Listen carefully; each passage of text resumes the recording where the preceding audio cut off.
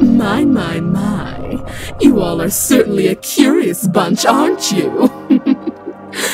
I've just been here in the shadows, brewing my newfound power. And yet, you all just really want me to reveal myself, don't you?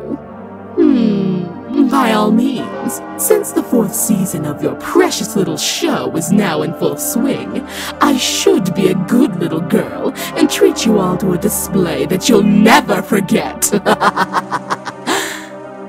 but I'm not going to.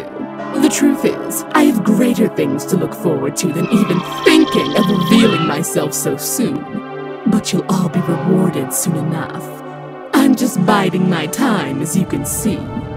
And when I finally arise, your beloved Twilight Sparkle will know my name as she lies dying in my hooves.